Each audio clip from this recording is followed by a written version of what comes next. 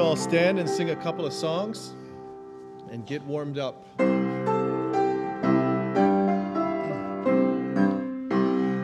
Gone, gone, gone, gone, yes, my sins are gone. Now my soul is free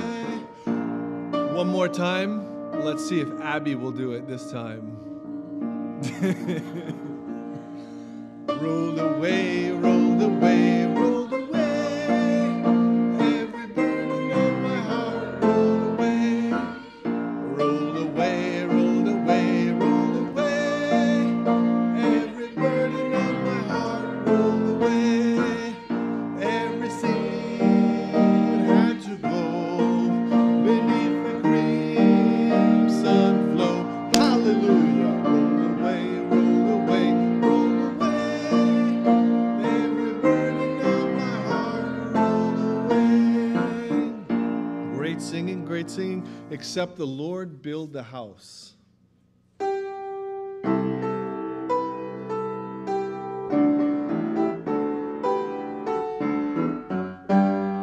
Except the Lord.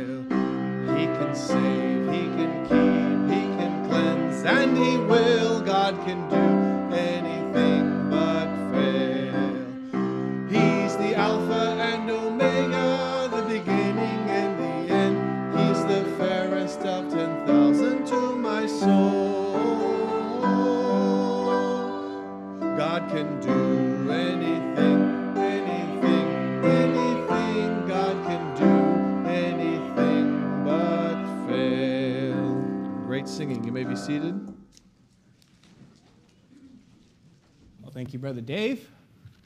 Good morning, everyone. Good morning. Let's see.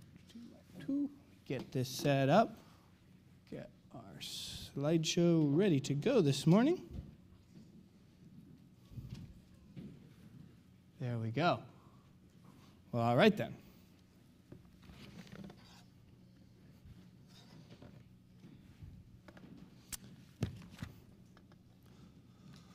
Well, I hope everyone is having a wonderful morning. I'm excited. We're getting closer and closer to Christmas, one of my most favorite times of the year. My most favorite times of the year. Well, you know what? Okay, so as I look out this morning, this is our Sunday school time. This is our story time. I'm not going to make you do it this Sunday, but let's keep it in mind for next Sunday. I know everyone has their preferred spot for like the main morning service, the spot where like God's going to speak to you and you got to stay there and that's really important. But for Sunday school, we're going to do things a little different next week. If maybe everyone could come just like a little closer, kind of like maybe no farther back than like where Miss Valerie is sitting, and you guys can like put bulletins down or hymn books to save your original spots for like the next service. And so in that time in between, you can all reshuffle. But like, let's come a little closer because stories are no good unless you can kind of be inside of them and living with them. And you, it's hard to live in a story from the back row. And don't worry, this is where uh, Pastor wanted me to, to make sure that we talked more to the kids. So if your kids are acting up, that's okay. Don't worry about it. It's Sunday school, okay? All right. So this morning, we are going to do lesson number two about creation. Creation is such an important story that we're actually going to take two lessons to do it. And then after Christmas, we'll probably review again because it's the very first story. And often, like when you read a book or you read a story, the very first part, if you miss something, you're going to get all the way to the end and you're going to realize that something is missing and it doesn't make sense. So we got to make sure that we get the first part of the story right. In the beginning, God created the heaven and the earth. Like right there, that is the beginning of the story. In the beginning, God created the heaven and the earth. But before we get to all the wonderful things that happened today, we're going to talk about day five and day six and day seven. That's what we're going to talk about today. But before we to get to all of the wonderful things that happened, I want to talk about the stories as a whole. See, the Bible, it's where we learn how to live rightly, right? You know, some people, we want to call the Bible like, you know, it's like your textbook where you learn how to live. It's like an instruction manual, you know, with like all the different pictures to tell us what to do. Or maybe and nowadays we would call it a YouTube tutorial where, you know, Moses is in here. It's like, well, here's how you walk in the righteous way, and here's how you do your hair if you're, get your fringes and everything it could be thought of as that way. But, but I want to tell you this morning the Bible, it's so much more than all of that because the Bible is more than instruction manual, it's more than, than, than simply a text. The Bible, think about it this way the Bible is a place. The Bible is a place. And in this place, when we open the book, when we open the Bible, inside it, people live there. People live inside the Bible. This is where Abraham has a son when he's over a hundred years old and his wife is almost as old. It was miraculous. This is where Moses takes the rod of God and it turns into a snake. And then, after all the 10 plagues, he parts the Red Sea and he leads the people of Israel out of bondage into the promised land. This is where David slays Goliath. It's where David comes from like a little shepherd boy and he becomes the king, becomes the greatest king that Israel would ever see. It's the place where Daniel would sleep with ferocious lions. It's the place where Jesus would be born in a manger, and it's the place where Jesus would die for our sins. And here's where it gets a little confusing, but you have to follow with me. So remember, the Bible is a place where the people in it come alive, and we can talk to them and learn from them. But remember, it's not just another place. It's not just like walking through a door, through a wardrobe, into a different world that place where the Bible is, it's right here.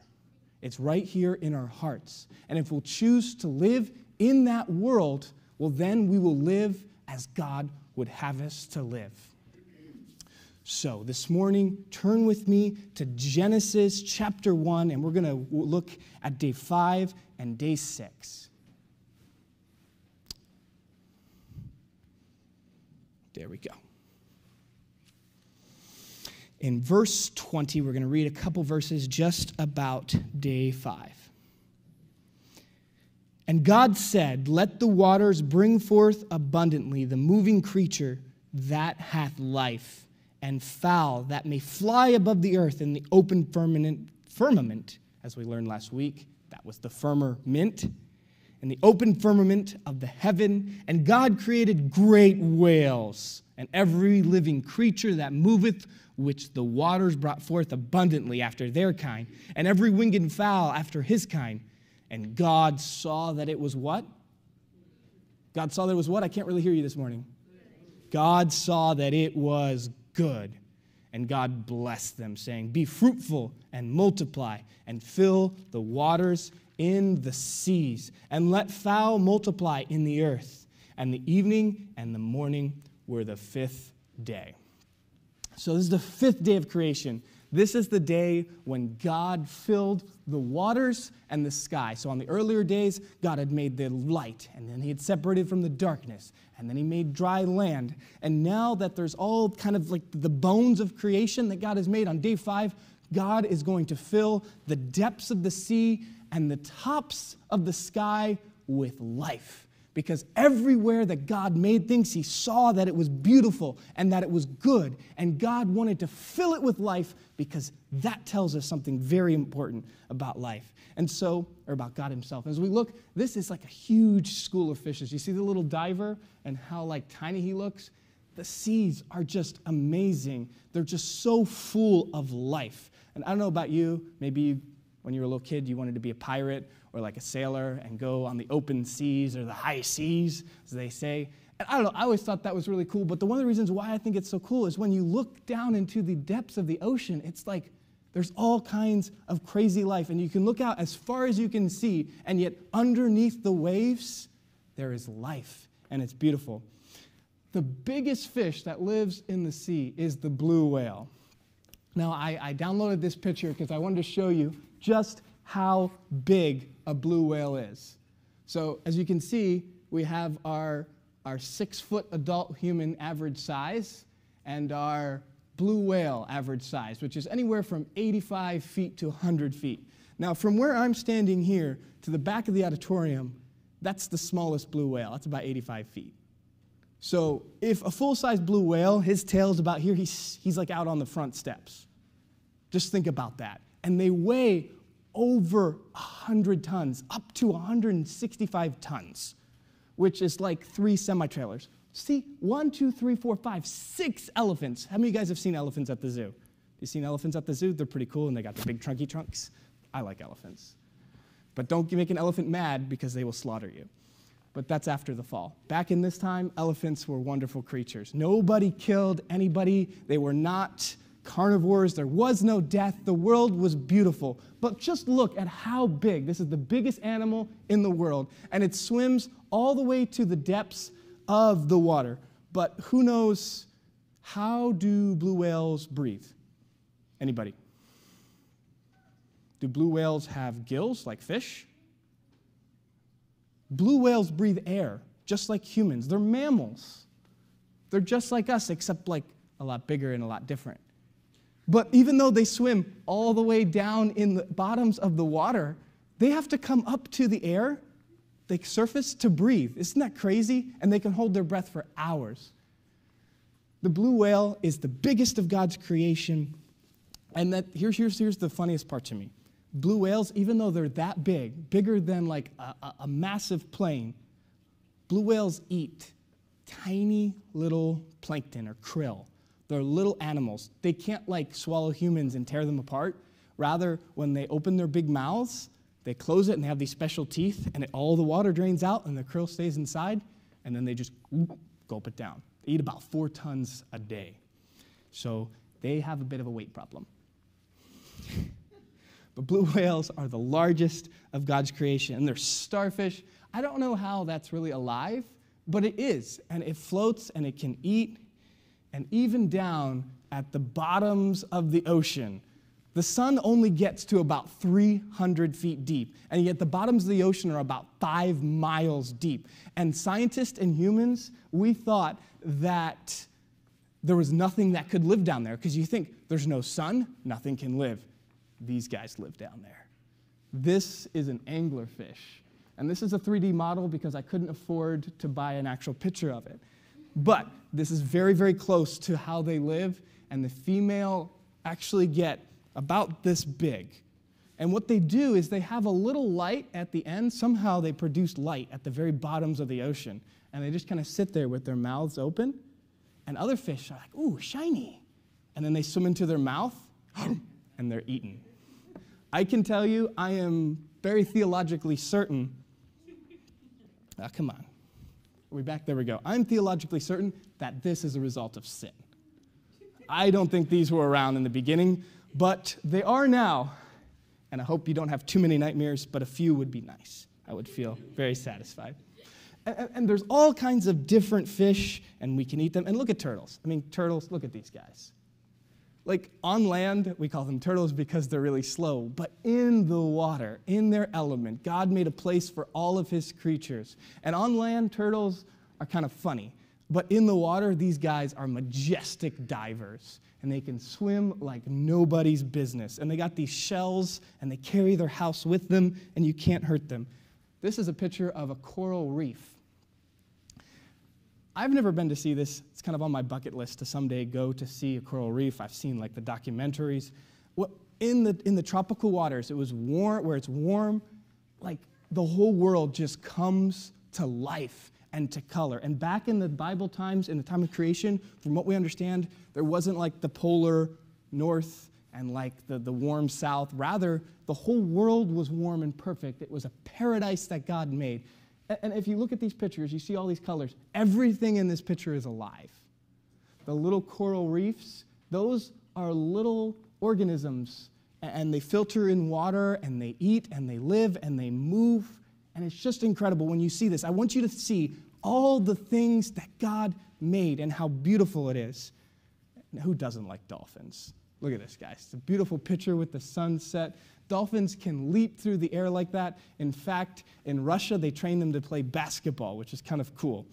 They can, like, you throw the ball out into the pool, they'll pick it up, and they can put it right through the hoop much better than me because I was homeschooled and they went to school and they travel in schools.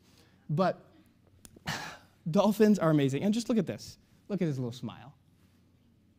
Didn't God make so many wonderful creatures? And then uh, he not only did he fill all the way to the bottoms of the ocean with animals and with beautiful life, way up in the tops of the mountains, God wanted there to be birds, all to fill the skies and to fill the seas with animals and with life. This is a bald eagle. Just look at that majesty right there. That's America, bald eagles. Amen. And they have, you know, parrots, which are filled with beautiful colors. And I mean, these guys, they'll actually talk to you, and so depending on who they're with, they'll say nice things or very nasty things. But I think it's cool that parrots can learn how to talk back to us. That's just, God is amazing. That's what we're getting at this morning. And these are albatross. Now, I wasn't quite certain whether there's, there's several different types of albatross, but an albatross is the largest bird that flies in the air, the wandering albatross. Their wingtips are over 12 feet. 12 feet. So that's like one, two, three, four, five, six, seven. I'm still counting eight, nine, 10, 11, 12. So over there to here, that's how big their wings are. And they can fly over the seas for hundreds and hundreds of miles without stopping. And they're just majestic birds. Now, on land, like the turtle, we call them goonies because they look so silly. They've got these big feet and they just kind of flap around. But in the air, that's where God made them to be, and they fly for forever. And like a poem that was written, don't ever kill an albatross. It'll hang around your neck, and it's just a very bad thing. And then there'll be water, water everywhere, but not a drop to drink. If you had to read that poem in school, you'll remember that. Otherwise, I'm just babbling. But that's okay. And not only did God fill the air with all different kinds of birds, He filled it with, with the albatross, and then you have these massive birds all the way down to the tiniest little hummingbird, which weighs only a few ounces. And it can hover in the air and go backwards and forwards, and it's just amazing. And even down to pigeons and sparrows that live right out there on the street. So that was the end of the fifth day. So God says each, each time that He makes something, there was the beginning of the day and there was the end of the day. And that's kind of really important because God is telling us how He is making the world and how He wants it to be. There's going to be a beginning of the day and there's going to be an end of the day. So that every day is like a new world. It's a new creation. Maybe today you messed up, and maybe today you made your parents angry, and maybe today you're crying right now. But you know what? Tomorrow is a new world because the evening and the morning were a new day, and every morning God's mercies are new. And He wanted to emphasize that in the very beginning that this is the way He's going to make the world. He's going to fill it with life, and every day is going to be new. And so then we have one of my favorite days because that was the day that man was made, but also a lot of other cool creatures that I found some really cool pictures for you. Hopefully, they'll display properly. On the sixth day, God made all the land animals. So on verse 23, the evening and the morning were the fifth day. Everyone looking with me. Verse 24, please read it with me. And God said, Let the earth bring forth the living creature after his kind, cattle and creeping thing, and beast of the earth after his kind. And it was so. And God made the beast of the earth after his kind, and the cattle after their kind, and everything that creepeth upon the earth after his kind. And God saw, once again, that it was what? God saw that it was good. There's two things that God sees in this, in this section. When God makes something, he says, Let this happen. And what happens when God says things? It was so. When God speaks, he speaks the world into order. His words are what orders everything around us. So God speaks, and it was so. And then God sees, and it's good because everything that God does is good and beautiful because that is who God is and He can't do anything else. And so on the sixth day, God makes the creatures of the land. We have elephants. Look at the little baby one. He's really cute. And these things are gentle giants. If you're nice to them, they'll be very nice, and you can actually train them to, in like India, they like sit on top of them and they can ride them Hannibal tried to use them in war, and sometimes it worked and sometimes it didn't. But if you make them mad, they'll go really crazy. They can flip cars and hurt people. And he made the ugly hippopotamus, which is like tons and tons of blubber, and he's pretty massive. And then he made lions. Look at all that majesty right there. This is the king of beasts, as he's been called. And as you look at that picture, I think you can see why. I think every king that ever lived wished that he looked like that. And if I was a king, that's what I would aspire to. But I'm not, so there you are. And he made jaguars, which are like another type of leopard, and they live in trees, and they're just as big as lions. So don't mess with jaguars, they're also terrifying. He made lions, and he made tigers, and he made bears. Oh my. You got the idea. This is a grizzly bear, and they can swim and they go out into the water and they, they, uh, they eat salmon, which run upstream, and then the bears go into the stream and they catch them and eat them. So if you're fishing for salmon, beware of grizzly bears, because they are also very terrifying. But after the fall. So we got to remember we see all these creatures and we think of them as they are now, as carnivorous, ferocious, large mouth, devouring. But when God originally made this, there was no sin, there was no death. So if there wasn't any death, well, they couldn't have been eating each other, right? Rather, it seems, from what we understand, that they were all just eating plants. They were herbivores, as they call them. They eat plants. But it was a beautiful world that God made, and it was full of life. And, and this is the polar bear. I think he just wants a treat. He's begging, pretty please. The moose, they live out by themselves. I've always wanted to hunt moose because I've heard they're really good and they're very terrifying, but maybe someday. It's another one of my bucket lists. And then they made horses. This is a picture I found. It's from Romania, actually, as Miss Mariana would know. See, it's beautiful. The horses are incredible. And we, as humans, we've learned to train them and to ride them and to take them to, to, to, to back in the day, you know, before tractors, to run the crops. And even now, we still use them to race horses. They're majestic animals. They're something that when you look at them, yes, they're stinky and smelly in Central Park and they smell things up. But in, in general, they're beautiful animals that God made. Here, cows to live in the valleys and to eat the, the, uh, the grass and to make wonderful milk for cereal and Froot Loops. And then, way up on the top of the mountains, way up on the top of the mountains, you have these mountain goats. And I don't know if you've seen videos of them, but how they can climb like straight up the rock face of a wall. They've got these little hooves that they split in the middle, and they're basically like little vice grips. So even like, you know, I've done a little bit of rock climbing where, you know, you got to put chalk on your hands and you got to find just the right grip and it's too far and then you fall and hit the mat or hopefully you're wearing a harness or not, then you're going to get medevaced out of there and hopefully only in traction for a couple months and not buried. But as humans, we're not super good at climbing these types of mountains. But God made these little goats and they can climb amazingly. They're on these edges where you think, wouldn't that little guy be terrified that he's going to fall? And they don't. And they've got these special hooves that they can climb right up the side of a mountain. And what we learn from this, what I'm trying to get at, is that everywhere that God made, He made it and it was good. And everywhere that God made, He wanted there to be life. Now it says that every kind came after His kind. So they're all different and they're all unique. But we're not talking about evolution. That doesn't happen. That's not the way that God made it. We're not talking about, well, we started out with a little amoeba and he's in like a little pool of stuff, stuff. And eventually that becomes, I don't know, a monkey. And then after the monkey, eventually you end up with me. And I know from my behavior this morning, maybe that would make a little bit of sense. But every kind after his kind. That's how God made it. That's how God, it still is today. But we have all these different kinds of animals because everywhere that God made, He saw that it was good and He wanted there to be life and He wanted it all to be different because He loves things to be different. And if you look out across this room right now, I think you'll understand what I'm talking about because none of us are like me, and I am not like any of you. And that is the same for each one of you, even for all these four little Brinkman girls. Same mommy, same daddy, they all grew up in the same house.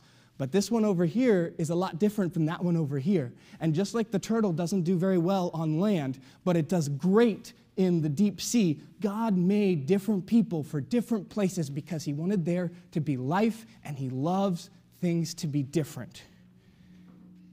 And then in verse 26, if you'd look with me, and God said, Let us make man in our own image after our likeness, and let them have dominion over the fish of the sea, and over the fowl of the air, and over the cattle, and over all the earth, and over every creeping thing that creepeth upon the earth. So God created man in his own image. In the image of God created he him, male and female created he them. And God blessed them and said unto them, Be fruitful and multiply and replenish the earth and subdue it and have dominion over the fish and of the sea and over the fowl of the air and over every living thing that moveth upon the earth. And at the end of all the works that God did, after all, He made the land and He made the light and He made the darkness and He separated it and He made all the fishes of the sea and all the birds of the air. God made man. And it was the greatest thing that He ever made. And man, many people, they want to talk about how, well, man, our men are sinful, and it's like, you know, the classic story. It's like, okay, so there's two people drowning in the same lake. You've got a human and you've got a dog. Which do you save? Well, I worked with a lot of coworkers, and they said, I would save the dog because the dog didn't do anything wrong, and the human is evil, and therefore they should drown. And, and that is, that's so messed up and so horrible because, yes, dogs are innocent, but human life is so much more valuable. And why are they valuable? Because they were made in the likeness of God. In each, every one of us, there is the image of God. God made us to be image bearers of Himself. Think about that for a minute. God made us in His likeness. And that's what makes us valuable. Not because we have some sort of group of people that we're connected to, not because I am a tall white person, not because I'm a short brown person, not because I'm a scientist, which I'm not, not because I'm a carpenter, which I am. Those things don't make me valuable. What makes me valuable is that I am made in God's image. I can think, I can reason. I am different than the animals. In Psalm 8, verse 3, it says, When I consider thy heavens, the work of thy fingers, the moon and the stars which thou hast ordained, what is man that thou art mindful him, of him, and the Son of Man that thou visitest him? Think about that for a minute. We're almost done. Why did God make humans? Look at this picture. You look out and you can see the stars. You can't really do this here, but whenever you're out, in the middle of nowhere and you turn off all the lights and you look up into the sky. I can remember a time when I was at my grandmother's house in Pennsylvania and we were staying in the van and it was very, very, very, very cold. We almost froze to death. Not really, but it felt like that. And we turned off all the lights and we looked up into the sky, and the more that we looked, the more stars that we could see. And you saw, just like we've been talking about, that everywhere that God made something. Even though this world is now broken and sinful, and we're going to talk about that after Christmas, even though this world is broken and there's all these problems, you still see that the world that God made is good. And it tells us about God Himself. But you think about it, in light of this big, beautiful world that God made, why did God make us? Why is God mindful of us when you look at all the beautiful things that God made? And, and I can't answer all of those questions, but I do know that God loves us and that God actually He made this world for Himself. He made it beautiful because that's what He does. And then He made man. And this is the cool part He elevated us to be a little lower than the angels. In fact, what He says is that, you know, some people have different perspectives. You know, you talk about how the world is made and, and how humans interacted. Well, humans are cancer on the world. And if we just get rid of all the humans, well, then the world would be beautiful. Well, that's not how God made it to be. And neither on the other side did God make us to destroy the world and to make machines that cut down forests in a day. That's not exactly what God intended. God made us to enjoy the world with Him. It's an amazing privilege that we have. And God said, Behold, verse 29, I have given you every herb bearing seed which is upon the face of all the earth, and every tree in which is the fruit of the tree, a tree, I'm sorry, yielding seed. To you it shall be for meat, and to every beast of the earth, and to every fowl of the air, and to everything that creepeth upon the earth, wherein there is life. I have given every green herb for meat, and it was so. And God made, saw everything that he had made, and behold, it was very good. And the evening and the morning were the sixth day. Verse 1 of chapter 2 Thus the heavens and the earth were finished, and all the host of them. And on the seventh day, God ended his work which he had made, and he rested on the seventh day from all his work that he had made. So in six days, God made the world, and then he rested to give us a picture of how we ought to rest. Work six days and rest on one. And that's a whole other story we can get into. You can ask Pastor exactly how that works. But now you know, eventually that will become to the Sabbath, and, and, and that will be part of the Jewish people. And nowadays we rest in Christ. That's how we partake in the Sabbath. We rest in Christ. But God saw everything that He had made, and He saw that it was good. And He made mankind, and He put them in the garden. And And afterwards, we'll learn more about how that all happened and how the beautiful world that God made would become something very, very different. But for right now, let's just think about the beautiful world that God made and how He made life everywhere. And all the beauty that we see, it doesn't come from some strange processes, it doesn't come from anything but God. All the beauty that we see comes from God Himself. And here's, here's the moral of the story as we end. Here's the moral of the story.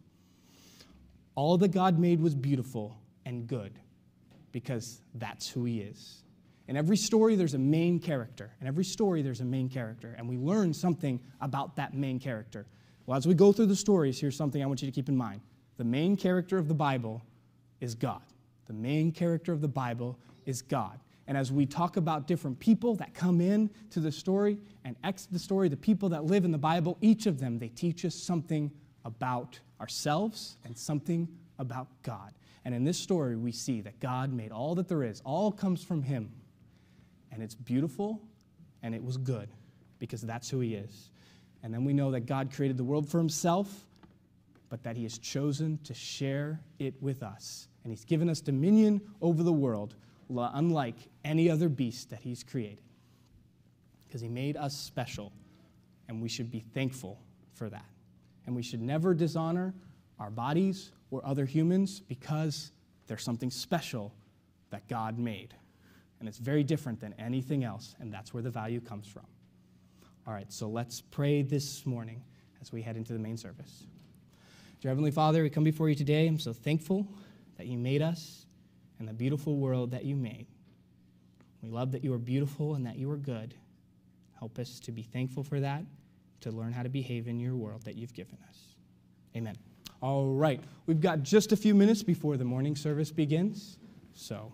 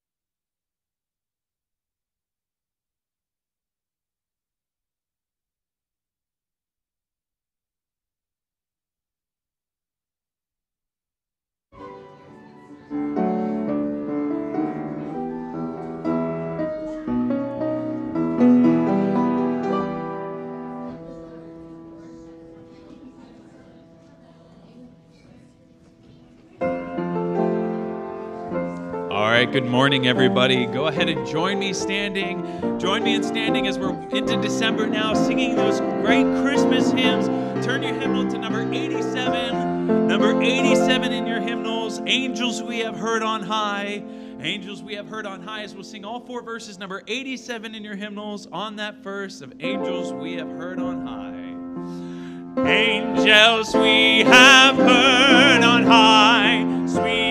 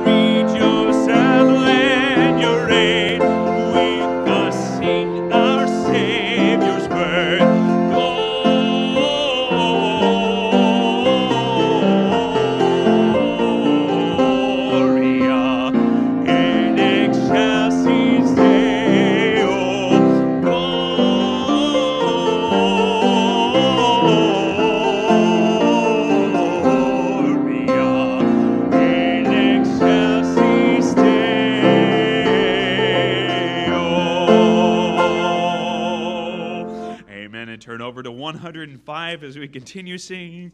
105, go tell it on the mountain. We'll sing all three verses as it starts off on that chorus. 105 in your hymnals, go tell it on the mountain, over the hills and everywhere.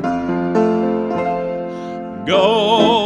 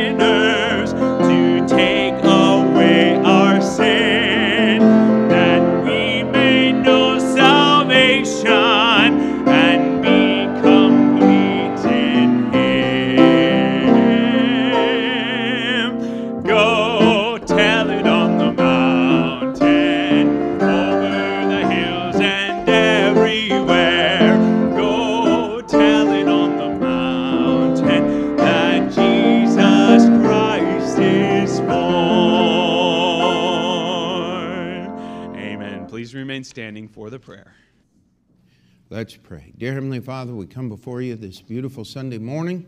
We're thankful for each one that is here as we assemble together in the name of our Savior. Lord, we need you to superintend each part of the service, every song sung. Lord, the special music, the, uh, the preaching, the invitation, the offering. Lord, every part of this service, we ask that you would encourage us and strengthen us in our service for you. In Jesus' name we pray. Amen. Remain standing. Open to number 83 in your hymnals. Number 83, Hark the Herald Angels Sing. Number 83, Hark the Herald Angels Sing as we sing all four verses there on that first. Hark the herald angels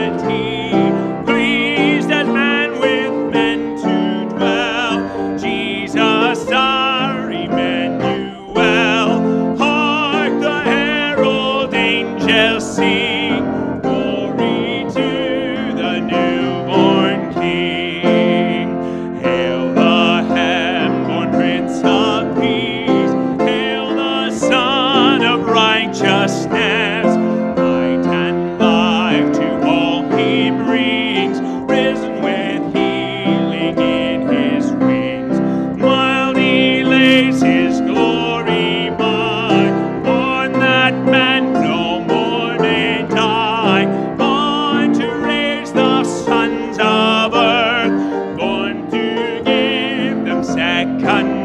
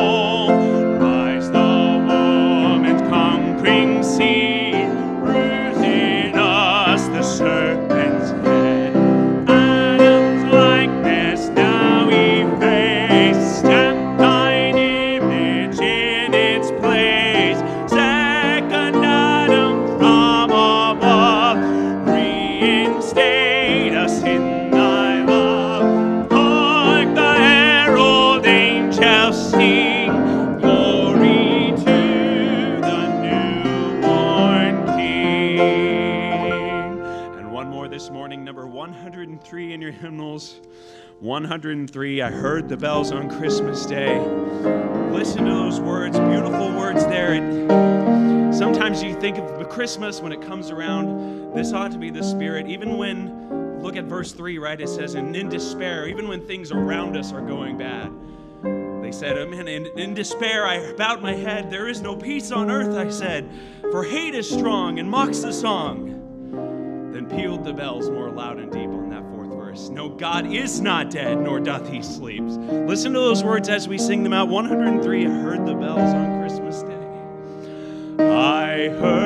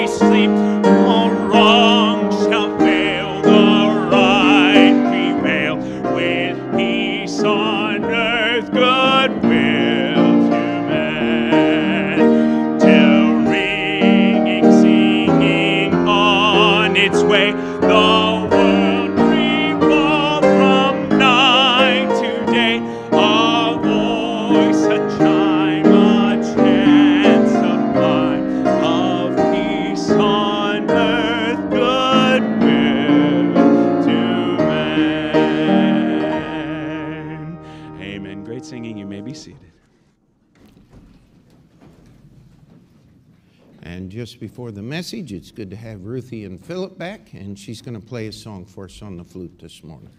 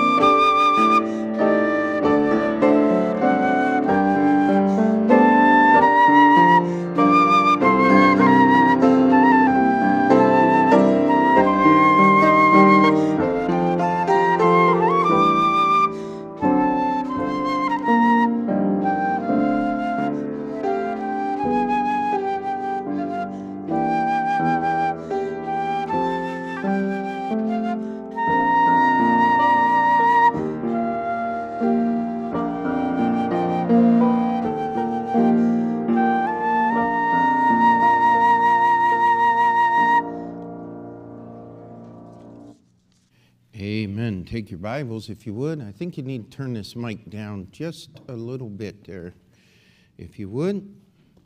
And uh, Luke chapter 1. And so we have been the last uh, couple Sunday mornings, we talked about the spirit of Christmas and last Sunday preached on the follow of Christmas, how that Jesus came, and his message is still to us today to follow the Lord Jesus Christ. And today I would like to preach on the fear of Christmas. If you remember the Christmas story, if you're familiar with it at all, uh, you'll remember that the first thing the angel said as they appeared to different people was, Fear not. And so we're going to just look at those different times and hopefully find application. I believe we can find more than ample application to our lives today. And uh, just want to uh, give you a little uh, foreshadow next week. Can you believe it? Next Sunday is Christmas Sunday. Uh, and by the way, thank you for all that prayed for safety. Uh, you remember, uh, most of you have heard about those tornadoes. We were driving right through that area. We were 10 miles from the warehouse that blew down in Evansville, Indiana. Uh, that was like 9 o'clock. I think we were going through there about 8.30. And uh, sirens were blaring and all kinds of different things, and the Lord protected us. You never know what you're praying for when you pray. Amen. And so uh, we, we're just thankful to uh, be here and be safe and uh, uh just to have this opportunity to go together through the scriptures. But fear is, is a great part of our lives. In fact, if you study psychology, something which I don't recommend, uh, a psychologist built an entire understanding of human behavior based on fear. Everything is connected to fear. We read our Bible, and there's a cure for fear it's love. Love is the cure for fear. It says, Perfect love casteth out fear. 1 John 4 19. So, give you a heads up, Lord willing, next Sunday morning, going to preach on the love of the Christmas story. But if we're going to really understand the love of the Christmas story, we got to get rid of the fear first. Amen. And so here in first in Luke chapter 1, and of course, the Christmas story in its entirety starts many months before. Uh, it was uh, just a, a, highlight of our trip to Oklahoma. Uh, the uh, message in the chapel was well received. We had 46 students at the information meeting for the inner city missions class. Uh, that is more students than we've ever had express interest in the class. And so, uh, do want you to keep all of those things in prayer. And uh, it was a, a, good time, but got to see the twins, David and Isabel.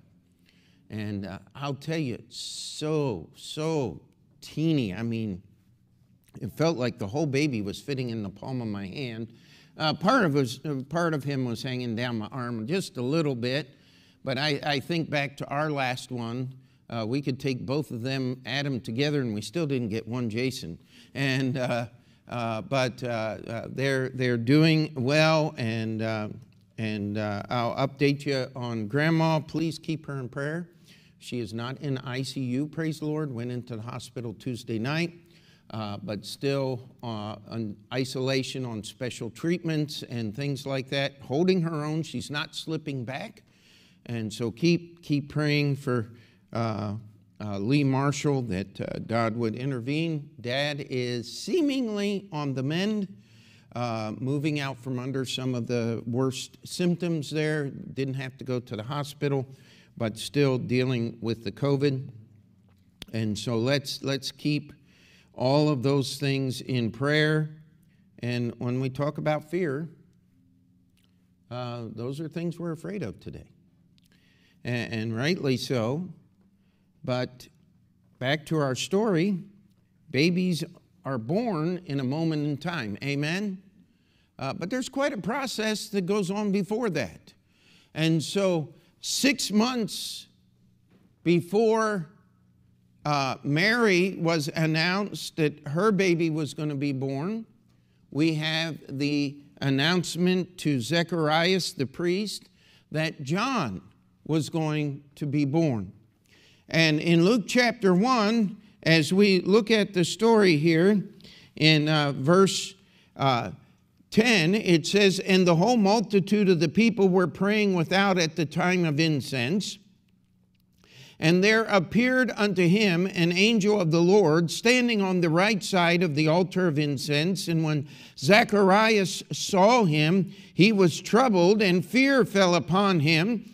But the angel said unto him, Fear not, Zacharias, for thy prayer is heard, and thy wife Elizabeth shall bear thee a son, and thou shalt call his name John. Now, as praying about this and thinking about this, I, how many of you have ever been afraid when God actually answered your prayers? I mean, stop and think about Zacharias and Elizabeth. They had spent their whole life in prayer for a son. Why was that so important? Because Zechariah's family history goes all the way back to the family of Aaron the priest at the foot of Mount Sinai. He knew every generation, he might not be able to recite it right off the top of his head, but it was all written down, documented, had to be, or he couldn't be a priest. If he had no son, then that part of the family would disappear from the pages of history. Only the direct descendants of Aaron and his sons could minister as priests in the temple. They tell us that once, possibly twice in his entire life of service as a priest, would he have the privilege to offer the incense on the altar in the temple.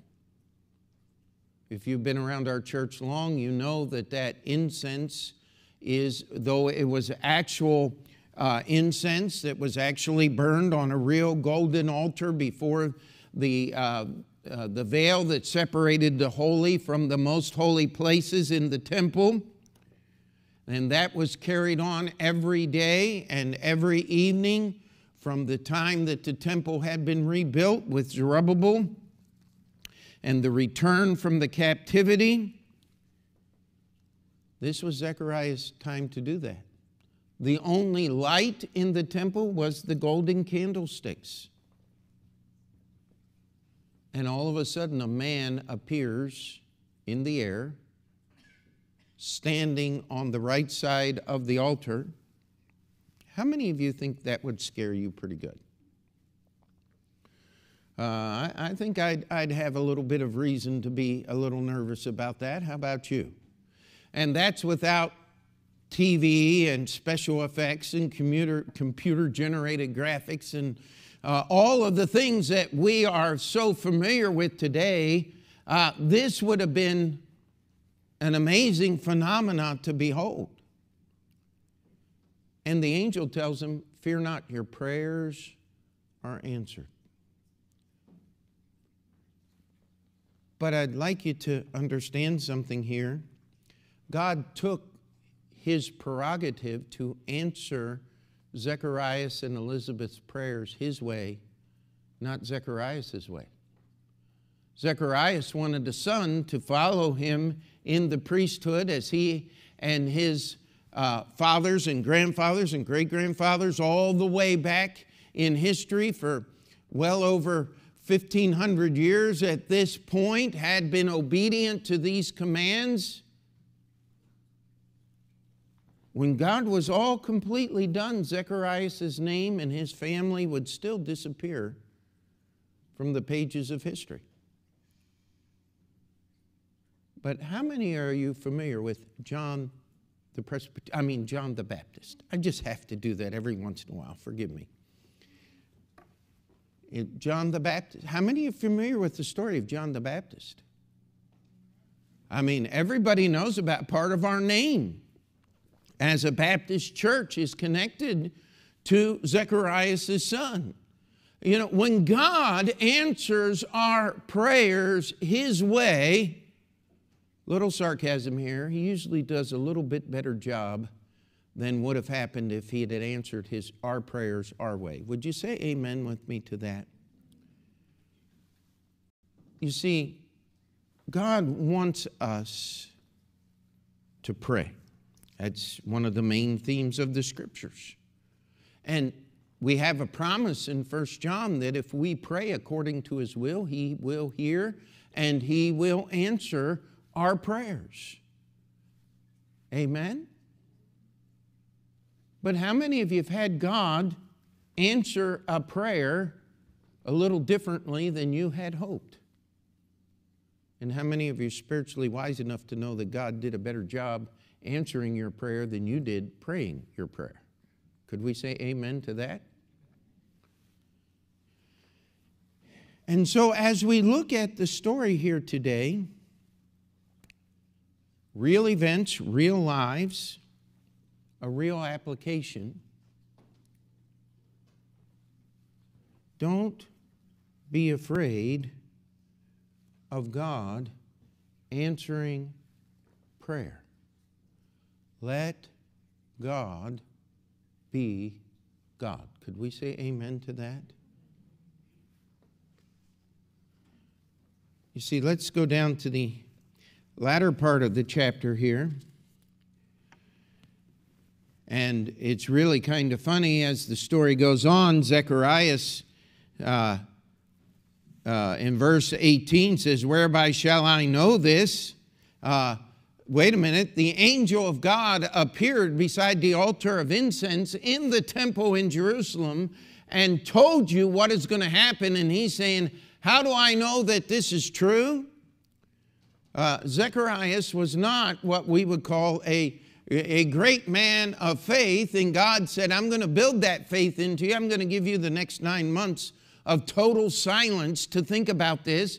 And every time you would open your mouth and say something, you're going to be reminded of the fact that you didn't believe God the way that God wanted you to believe in Him. Amen?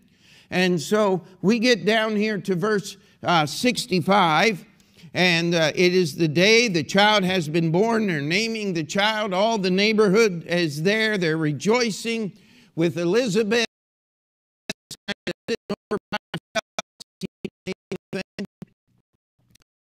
And uh, she says, No, the child's name is John.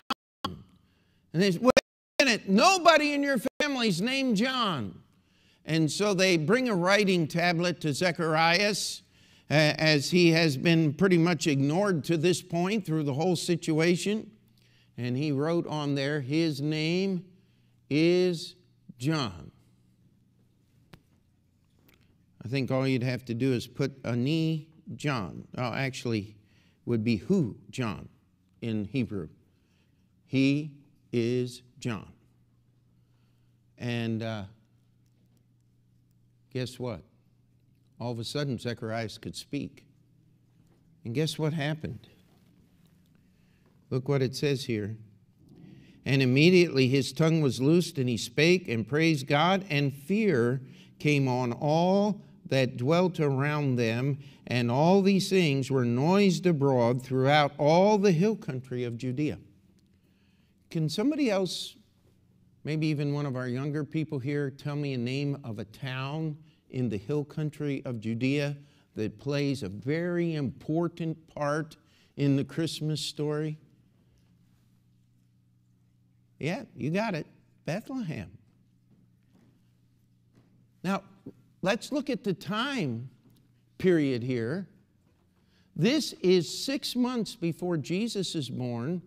The entire hill country, all around Bethlehem, south of Jerusalem, there is buzzing with the noise of the birth, the miraculous birth to Zacharias the priest of a son that is named John.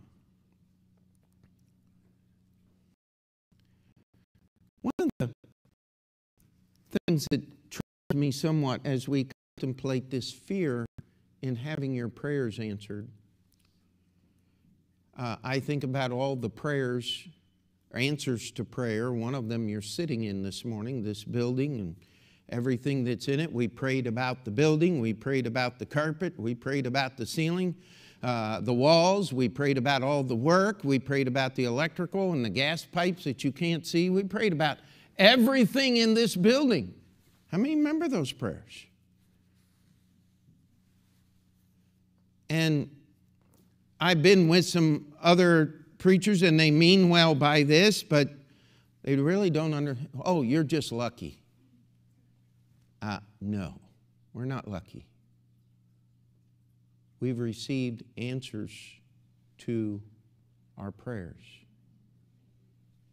Ooh, that's that's kind of scary, isn't it?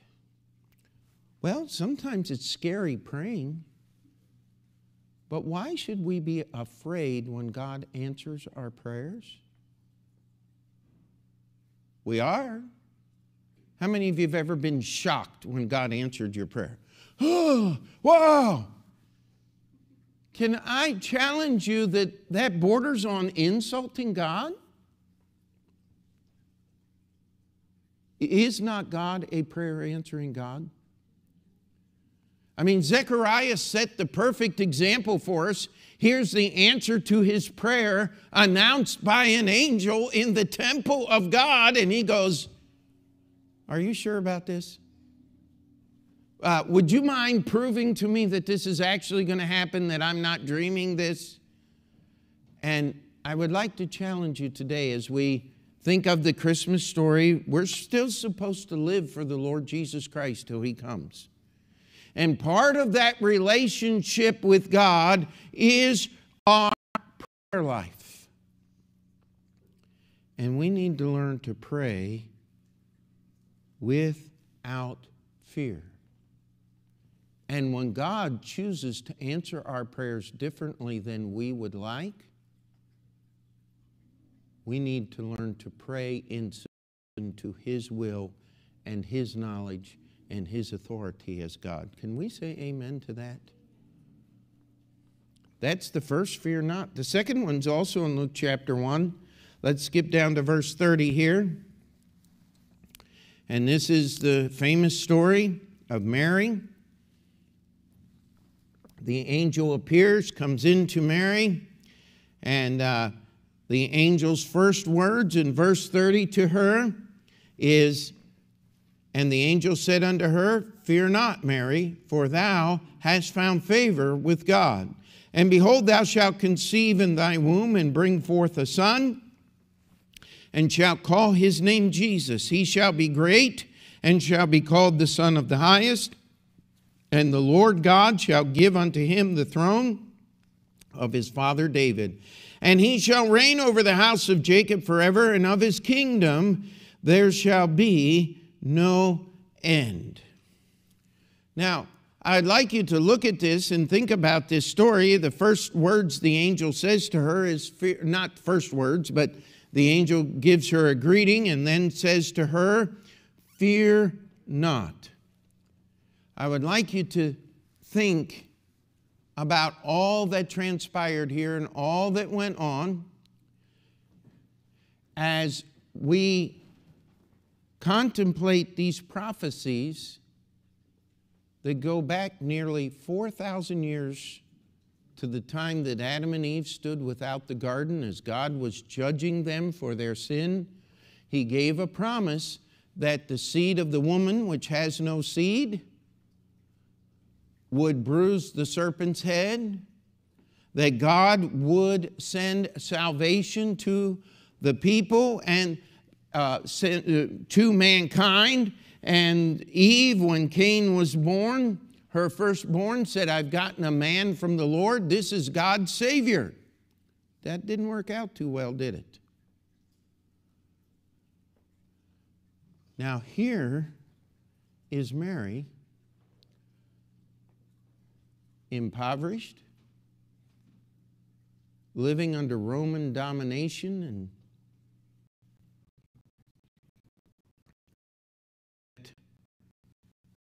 after all these millennia, God was going to use her to fulfill the Old Testament prophecies. I'll tell you, the angel rightly said, Don't be afraid. And Mary's response was a response of faith. Uh, she says down here in verse 36 And Mary said, Behold, the handmaid of the Lord, be it unto me according to thy word. Mary submitted to the direction of God. And it's interesting, the angel gives her a sentence or two. And then when she asks how these things are going to be, he gives her another sentence or two. But there is verse after verse after verse talking about who is going to be born.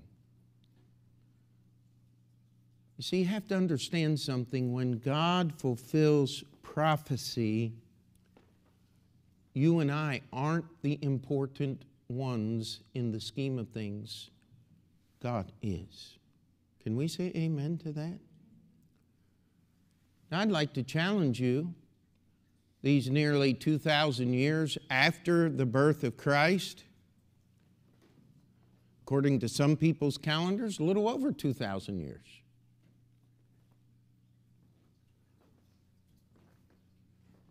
We've got a lot of prophecy that's getting ready to fulfill. Amen? And if I really want to get things quiet in here, all I got to start doing is preaching about the tribulation and the prophecy of the Lord's coming, and, and, and everybody starts getting a little scared and a little nervous. Isn't that true? You want to know how Antichrist is going to take over the world and control every living human being in the world? Hey, they're setting up the paradigm right now. No, the mark of the beast is not in the vaccine, all right? That's, come on. But let me tell you, the mechanics and the machine that's going to make that happen is being rolled out and tested uh, right now. I'm not a conspiratorialist. Uh, no, I would like you to take a lead from Mary here and embrace what God is going to do and stop being afraid that God's prophecies are going to be fulfilled. Could we say amen to that? Do you realize that the kingdom of our Lord and Jesus, our Savior, the Lord Jesus Christ, could begin just a little over seven years from today?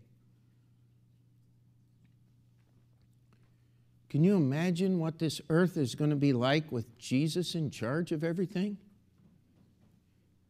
No politicians. What a world it will be. All liars are gone. Truth will reign supreme, for truth will be on the throne of David ruling this world from the, the city of David, the fulfillment of these prophecies that were given to Mary right here are actually yet to be realized.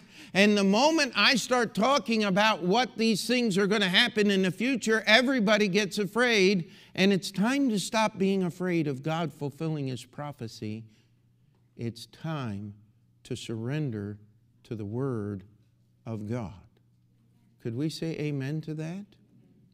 It's time to be encouraged. It's time to realize that some terrible things are going to have to happen to things uh, that we love. Uh, we can't find America in the prophetic uh, uh, uh scope uh, of, of what we understand from the book of Revelation.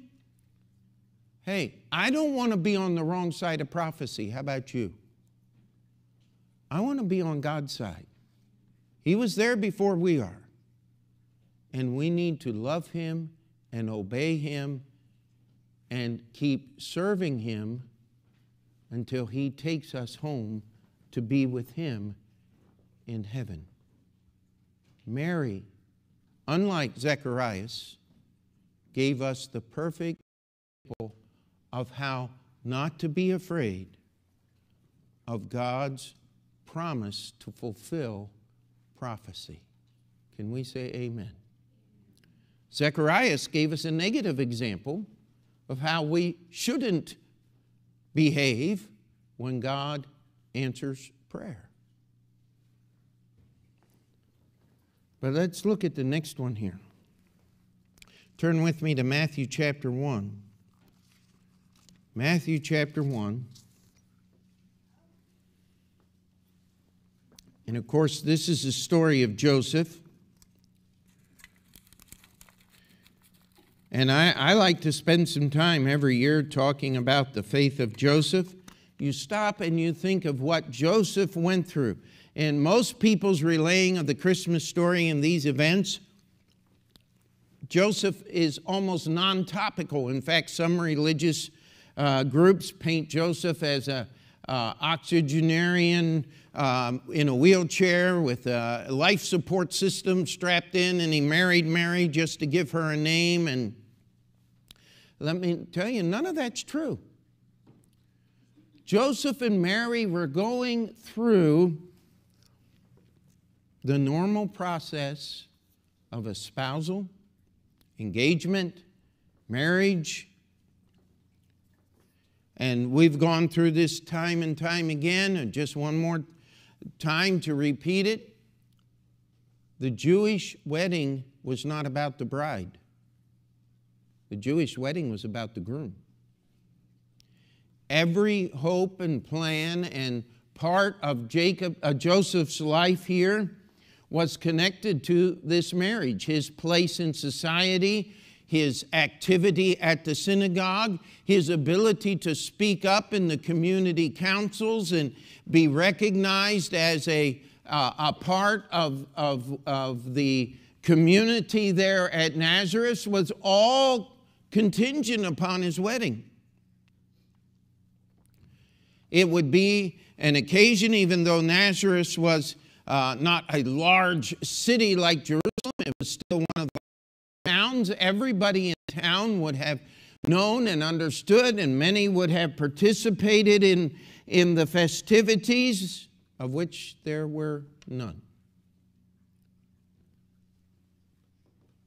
Mary had gone to visit Elizabeth, and just about the time that John the Baptist was born, Mary heads back to Nazareth.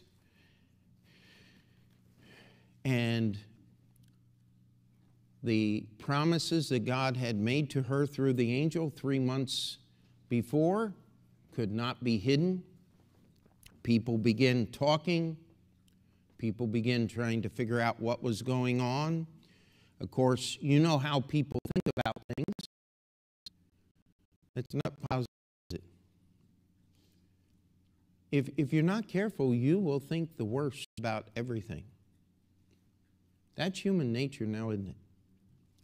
And I want to challenge you there is no trick the devil likes to pull more than the one he was pulling on Joseph, or thought he was pulling on Joseph right here.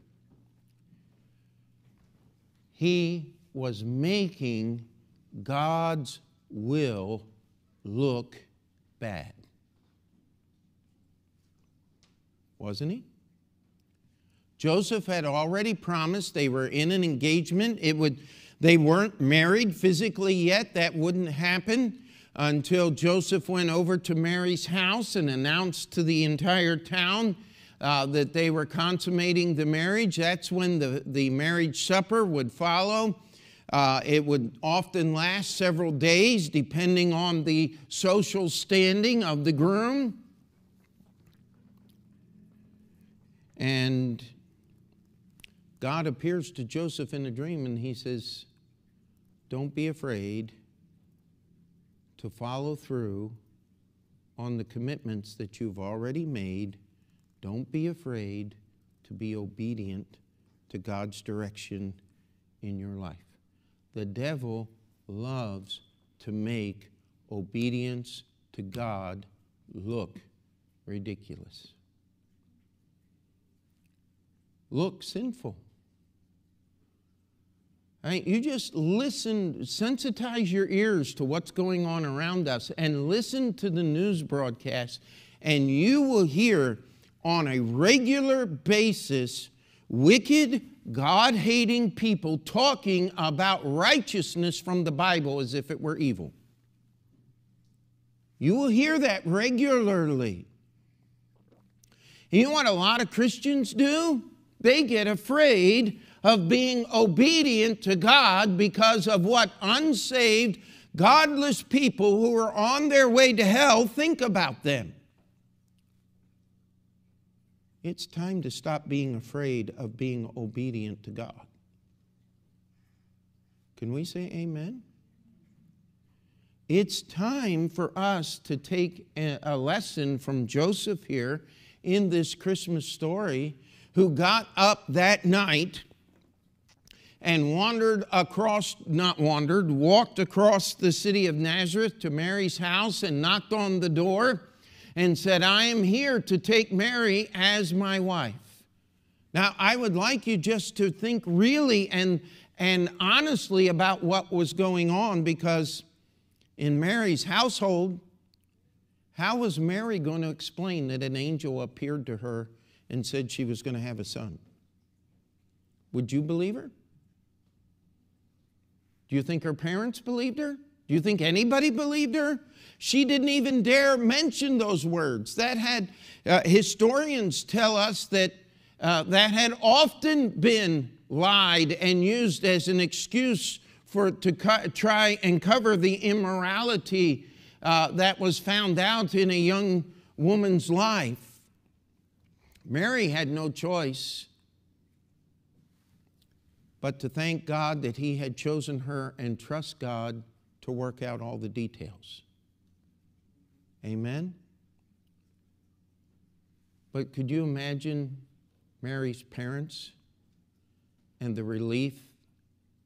Oh, Joseph, everything's going to be okay. But later on, when Jesus was a man, do you remember what the Pharisees accused him of? They said, We be not born of fornication. They had the calendars, they knew what was going on. But God, in His infinite wisdom, had intervened and taken a pure, engaged young woman and kept that marriage sacrosanct and biblical all within God's line of authority. The only difference was God Himself was being born through the agent of Mary. And in order for that to be totally according to the law, Joseph had to do what he was told. God picked Joseph because he knew he would be obedient. Even though others would criticize him and others would accuse him and others would think less of him. You know what? God's will does not always make sense. How many of you have had family members say, Are you crazy for going to church? You, do you really think that's the best thing you can do with your life? I've had family members, especially when I was just a young kid getting ready to go to Bible college, say, Hey, what, what are you doing wasting your life being a preacher? I'll tell you what, they're not saying that anymore. Because I got better stories than they do. I, I got greater things than they could ever dream of happening. Because when you obey God, He does things right. You cannot improve on obedience to God and His Word. That's why I hope you're in church today. I hope that is the main reason you are here is to be obedient to God. You see, the devil wants to make doing right look wrong. He's good at it. He's been doing it all the way through human history since the Garden of Eden. He made eating that fruit look so good to Eve that she obeyed the devil and disobeyed God.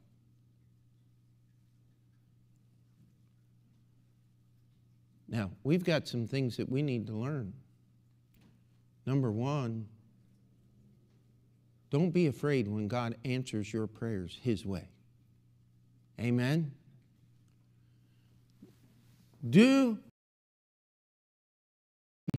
God wants you to serve Him in some way. He did with Mary. Amen? A unique person in all of history. And it wasn't all pleasant for Mary. We read in the Bible that she pondered these things in her heart. That's got a kind of melancholy ring to it now, doesn't it? You know what? She didn't understand everything that had happened to her. She didn't understand everything, and she never would. By the way, no human being ever has understood. It's not our job to understand, it's our job to believe. But Mary got it right. Be it unto me according to thy word. How many stories could I tell of people who've made shipwreck of their lives and of their children because they weren't willing, they were afraid to echo the words of Mary and say, I'm a servant of the Lord, be it unto me according to thy word. It's time to stop being afraid of that and embrace what God has for us. And to just simply obey God. Tell you what, I haven't always understood what the Lord was trying to do. But I'll tell you this He's brought us through every step every trial. He's brought us across every precipice where we had no idea what was in front of us. I want you to turn with me to Luke chapter 2. We got one more. Luke chapter 2.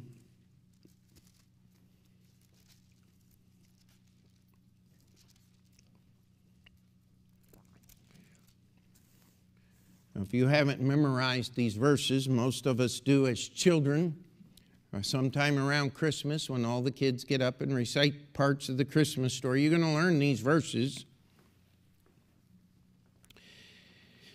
It says in verse 9, And lo, the angel of the Lord came upon them, and the glory of the Lord shone round about them, and they were sore afraid. And the angel said unto them, Fear not, for behold, I bring unto you good tidings of great joy, which shall be to all people. For unto you is born this day in the city of David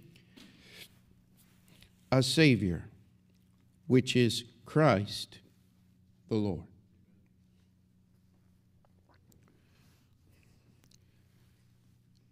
How many of you are afraid of getting saved? Before you got saved? How many are afraid of getting baptized? How many of you have been afraid of being a faithful member of the church? How many have been afraid of letting God's salvation work in your life? God didn't save you just so you can say that you're saved. He saved you for each and every day for the rest of all eternity. These shepherds had good reason to be afraid. The glory of the Lord is one of the most fearful things that you will ever find in the Bible. You go through the Old Testament and read the cases where God's glory appeared, there were usually some really bad things attached to that. I mean, remember the story of Dathan and Abiram? I mean, God's glory appeared, but that was a fearful and devastating thing. The Bible describes our God in the book of Hebrews as a consuming fire. No human has ever looked on the face and presence of God and lived. Moses got to see his hinder portions, amen. Someone said, Well, how, how did anybody look at Jesus if he was God? Well, unlike the theologian Mr. Wesley, who wrote Hark the Herald Angels Sing, Sing, Jesus did not lay his glory by. He did not stop being God. You know what he did? He veiled it so that we could look at him as a man. He just covered it. He opened that just a little crack a couple of times, the Mount of Transfiguration when he was transfigured and he was glistening whiter than the sun and talked with Moses and Elijah about his coming crucifixion. As he was arrested in the garden, they, he asked them, Whom seek ye? And he just uttered the one Hebrew word, I am. And they all fell on their faces in front of him. There were a few times Jesus let us see just a little bit. But when we get to heaven, we're going to know Him as He knows us. Think about that. You know, there are people who are afraid of getting saved because they're afraid of what God will do with their lives. I want to challenge you. He'll do a better job than you can. Can we say amen to that, those of you that are saved today? That's encouraging. Do you really believe that? People are afraid. I've, I've known parents. Oh, God might want my kid to go to the mission field. Well, I'll tell you, those brand new twins, they just started their uh, internship at Southwest, and they were going to be about a year or so at Southwest. They're, uh, they're already making plans to be here uh, a year from now on deputation uh, and going to the South Sudan. You want to talk about a scary place? Five little grandbabies going to South Sudan. That, that is terrifying. But I want to tell you something. In my heart, I'm a thousand percent behind them because that's where God has called them to be. I want my children and my grandchildren to be obedient to the words of this book because I'm not afraid of the salvation that God gives me. I had a preacher grab me up by my uh, jacket that wasn't wearing a suit. He grabbed, literally grabbed me by, the, by my coat, my jacket, and said, They're going to eat you in New York City. And I'm sitting there going, at that time, I was, I was really taken back. I mean, I was a young man in my 20s, and uh, the only thing I knew to do was say, I'm, I'm going where God called me. And there's a lot of things that happen, but nobody's tried to eat me. Amen. How silly we are when we express fear toward God in letting Him have His will and His way in our hearts and lives. How could you be more foolish, my friend? I know people who are on their way to hell today because they're afraid to get saved. I could give you story after story till next Sunday morning of names and people who have destroyed their lives and the lives of their children because they were afraid to let God's salvation work in their life and in their family. I want you to understand something. There's a lot of fear in this Christmas story and in the things that happened here. And that fear is the natural result of our human carnal nature. But if you read this story, God overcame that every instance. And God was glorified in it. Can we say amen to that? It is time for us as servants of God to stop being afraid that God might answer our prayers. It's time for us to stop being afraid that God might want to use me in His service. It's time for us to stop being afraid to be obedient to God because of the criticisms of the world and the way things look.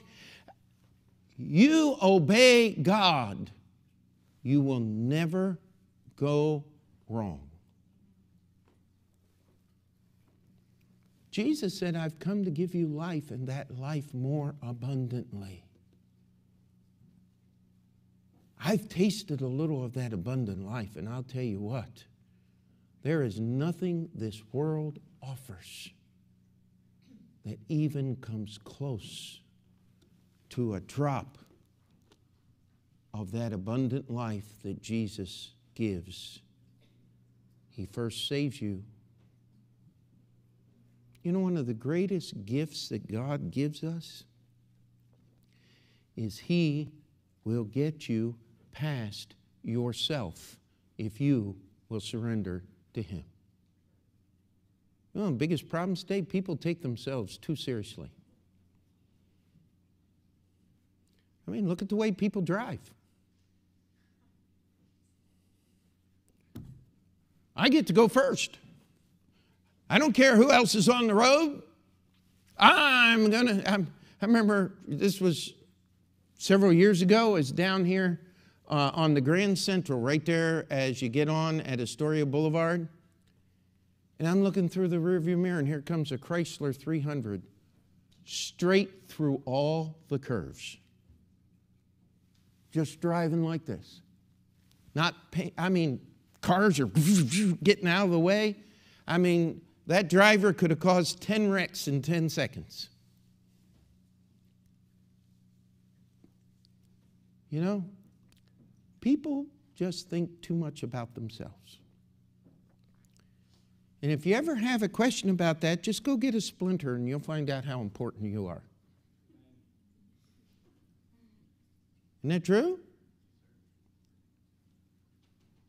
But you think of how God wrecked Zechariah's hopes and plans in future and erased his heritage off of the list of the priest. But he gave him John the Baptist, a testimony for all eternity, the forerunner of the Messiah. Mary and Joseph's lives, their wedding, uh, so many things after that would all be connected to the birth of this one, Jesus Christ. They just surrendered to God's will. And the same is true for all of us who will. Fear not. It said, For unto you is born this day a Savior. Do you know what that means? if there is a Savior born in Bethlehem, then the temple that they worshiped at couldn't save them. Do you get that? I believe these were the temple shepherds raising the sacrificial flocks. Every part of their life and their tradition was preparing these animals to be sacrificed on the altar. And if a Savior was born in Bethlehem, that means they were out of a job. If you're going to get saved, you got to turn loose of your life, your plans, your wishes. But I'll tell you what, you'll never do better than simply being obedient to Christ. You see, you want to get rid of the fear in your life? You got to get love. Next Sunday sermon, let's pray. Dear Heavenly Father, we come before you today. And Lord, we ask that you would help us to evaluate our own lives and hearts honestly and truly. And Lord, that we would look at what we are having a problem with, being obedient to the Lord and surrendering to Him. Lord, I could go through a list of all these things, but I pray that the Holy Spirit would do that in the individual lives. That each one of us here would give freedom, that we would invite the Holy Spirit to convict us of that which needs changing in our own hearts. And more important than just being convicted, we'd be willing to get out of our seat get on our knees in a public altar and say, I need to stop being afraid. I need to stop hindering the work of God in my life. Lord, we desperately need your blessings upon our lives and upon our church. And it's in the name of Jesus we pray that you would work in each heart and life here this morning. In Jesus' name we pray. Amen. Let's have Leland come lead us in the hymn of invitation. As he is leading us, if you need to come and pray, now is the time.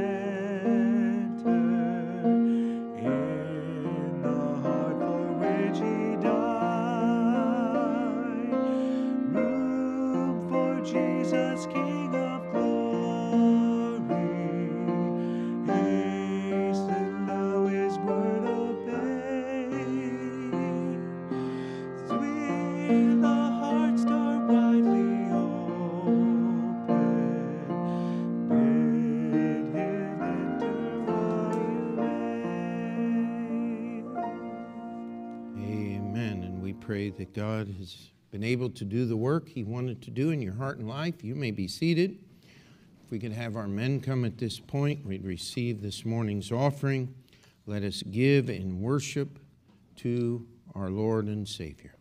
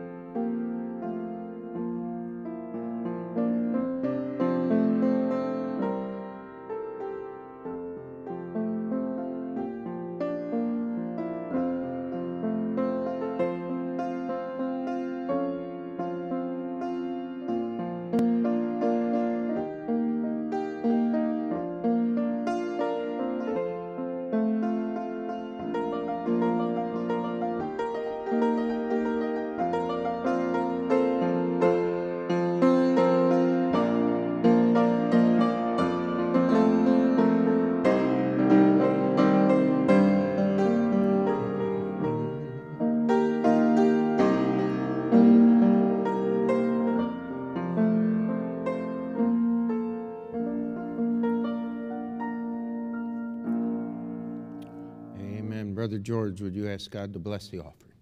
Dear Heavenly Father, Lord, we thank you, Lord, for this morning. We thank you, Lord, that you bless us with a sunny morning. And thank you, Lord, for giving us the privilege to gather together and worship you, Father. We thank you, Lord, for your message reminding us that 2,000 years ago, Lord, you sent your only Son uh, to fulfill the promise that you've given us, a Savior who, through him, through his blood and uh, resurrection, has given us eternal life. We thank you, Lord, all, for all the blessing you have given us throughout the years and days, and including the permission to partake in this offering. May you accept this return that we give back to you and honor it, Lord. We continue to pray, Lord, that you will just continue to keep us safe, Lord, and especially from this uh, pandemic virus, Lord. Keep us safe and keep us, uh, uh, guide us, Lord. Give us the wisdom to always walk a path that you have set before us. This I ask and pray in Jesus' name. Amen. Amen. And just a few announcements. I'm sure most of you have heard uh, Mrs. Marshall, Lee Marshall, went into the hospital Tuesday night with uh, COVID. Uh, she is not in ICU. She's in uh, what they call a um, medical surge unit. It's two steps down. Uh, she has not gotten any worse since she got into the hospital. Praise the Lord. Uh, uh, she is still fighting and literally, you know, fighting for her life. I want you to pray for her if you would. Keep her in your prayers. Uh, but the nurses have been uh, very positive about how she is and doing there. Pray for Julia if, she, if you would. She stayed behind in Oklahoma City. She's going to be flying back in, Lord willing, tomorrow afternoon and evening. And uh, also at Union, uh, some of you remember uh, Yuval. He was the owner of the building that was right next to Union. He's already gotten us an expediter and meeting with the engineer, and we've got contact with the plumber. Uh, it looks like we're going to be able to get the heat uh, put in upstairs at Union, so I want you to pray about that, if you would. And while I was in Oklahoma City, I was talking to Brother Copes, and he has a knows a Christian foundation. He said, I'm going to talk to these people. We're going to pay for at least one of those permits. And so that's another $2,000 right there. And so I want you to keep this in prayer. Lord is working, and our Christmas Eve service is coming up. Um, we got a lot of work to do. We got the scaffolding up. Now we got to put the lights up, paint the ceiling, seal everything up, finish it all, and take scaffolding down and still clean the building before Christmas Eve. And uh, it can happen. Uh, so I want you to pray about that if you would. Would love to have that second Christmas Eve service upstairs uh, instead of downstairs over at Union. So keep all of these things uh, in prayer if you would. All right. Uh, regular services. And just remember uh, next, not this, this week, but the following week, a week from today is Christmas Sunday. Uh, we will have our regular Thursday evening service here, but we'll also have the Christmas Eve service at Union. And uh, we would just really encourage you, if at all possible, to come over there and just be a part of, of that service. We're working on the governor's new mask mandates, trying to figure out how in the world we're supposed to deal with something that nobody knows what they said. And so just uh, pray about that. And uh, we'll try to figure that thing out. So come and lead us as we are dismissed. Join me in standing. It's 51 in your hymnals if you need the words. Take the name of Jesus with you, child of sorrow and of woe. It will joy and comfort give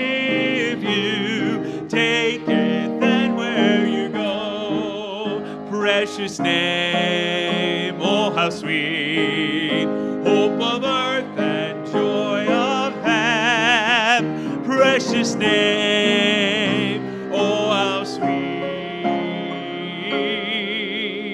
hope of earth and joy of heaven. We are dismissed.